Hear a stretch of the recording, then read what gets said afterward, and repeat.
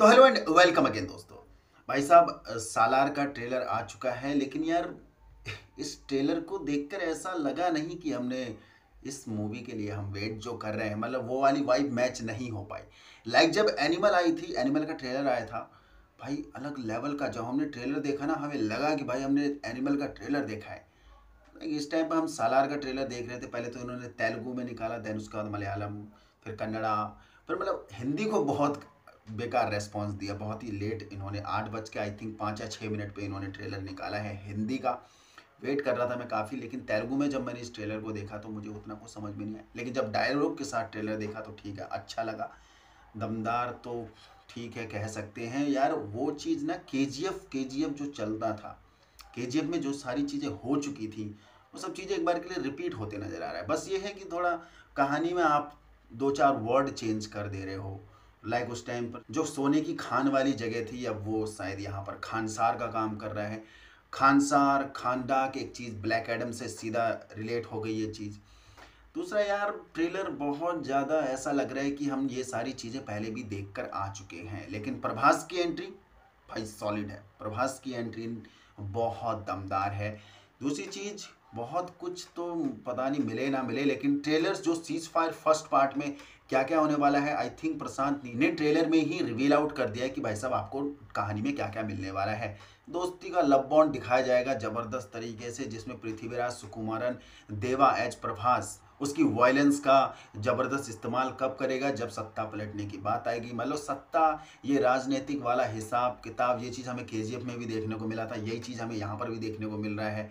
वहाँ पर कैसे मतलब सत्ता लेने के लिए आपस में ही अंदरूनी फूट चलती है। देन उसके बाद यस वहाँ आ जाता है अनएक्सपेक्टेड जिसे कहीं और से दुनिया चाहिए होती है, लेकिन यह बंदा आके टपक जाता है और वहाँ राज करने लग जाता है। लेकिन प्रभास के टाइम ऐसा नज़र नहीं आ रहा है उसे सत्ता ही कोई लालच नहीं है, वो बस अपनी दोस्ती निभाना चाहता है, यही चीज़ में देखने को मिल रही है। लेकिन डिप्लोमेसी का काम कौन कर रहा है? यहाँ पृथ्वीराज सुकुमार है वो इस बंदे का ज़बरदस्त फ़ायदा उठाने वाला है। मतलब सीज फाइट टू में क्या होने वाला है? यहाँ से क्लियर नज़र आ रहा है। आगे जाके कुछ अनबन होगी और इन दोनों में फूट पड़ जाएगी। देन ये दोनों एक दूसरे के रेबल हो जाएँगे और एक दूसरे से बदला। ये चीज़ हमें शायद देखने को मिलेगी। शायद हो सकता है।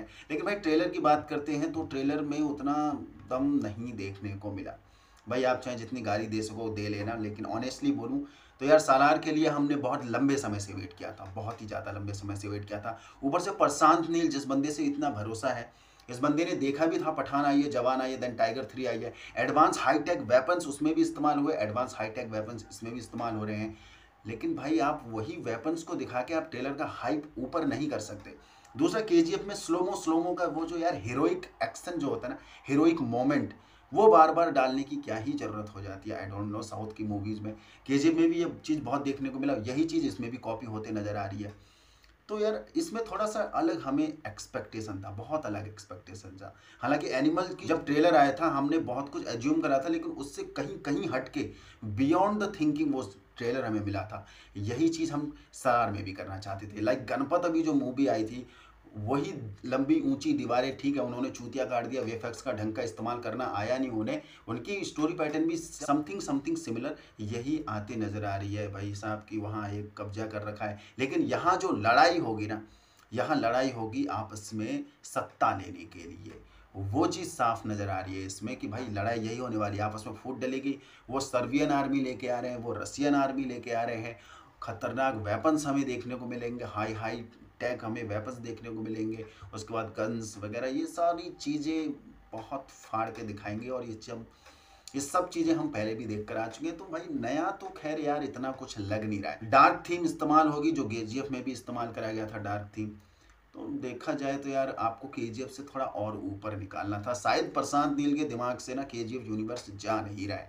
बस बोला था कि भाई, इसमें के का कोई कनेक्शन नहीं है के यूनिवर्स को कोई बूस्ट नहीं करा जाएगा। लेकिन कहीं ना कहीं वो के जी यूनिवर्स ही बूस्ट नज़र होते आ रहा है।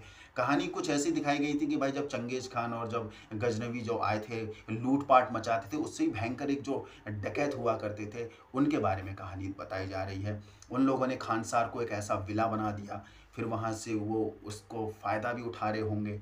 और यही चीज़ उसी खानसार की जगह में हमें सत्ता में मतलब टाइम टू टाइम उस सत्ता को हड़पने वाली कहानी देखने को मिल रही है। लेकिन प्रभास के एक्शन की भाई, एक्शन में मूवी फाड़ है, बहुत फाड़ है। दमदार लगी है। प्रभास का जो एक्शन हमें देखने को मिला मतलब एक अलग ही रौद्र रूप।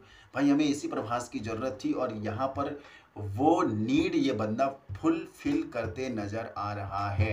भाई साहब, आपने आदि पुरुष में ऐसा चूतिया काट दिया, कुछ भी कर दिया, बाहुबली टू के बाद इस प्रभास में दम देखने को मिला है, जो बाय गॉड इस मूवी को कहीं ना कहीं बूस्ट करेगा, लेके आएगा, अपने कंधे पर यही बंदा इस मूवी को निकाल के लाएगा। थाउज़ेंड करोड़ ठोक के मारेगी, नहीं मारेगी, उसके बारे में अलग, वो अलग चीज़ है।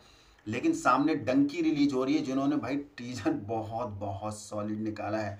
फुल फ्रेंडली टीजर निकाला है और ऐसा कंटेंट शायद इस साल पहली बार हमें देखने को मिलेगा, क्योंकि ऐसे कंटेंट नहीं है। और लेकिन सालार से मिलते जुलते वायलेंस वाले कंटेंट हम बहुत देख कर आ चुके हैं।